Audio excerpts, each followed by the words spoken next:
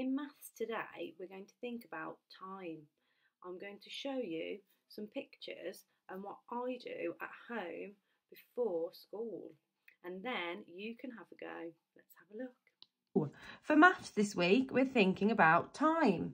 And we're going to look at putting three things in order. What comes first, what comes next, and what comes last. I've got some pictures here you can see.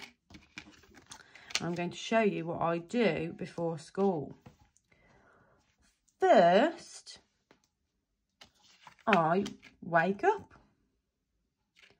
Next, I get up out of bed.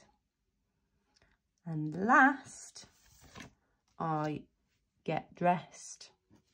You might do something different to me.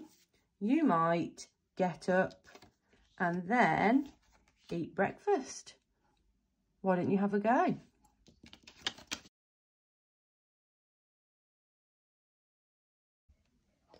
What else do you think I might do before school?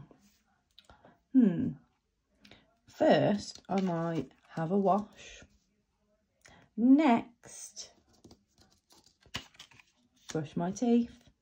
And last, eat my breakfast. Do you eat your breakfast first or last? What other things might I do before school? Do you think I brush teeth and have tea? And last have a wash?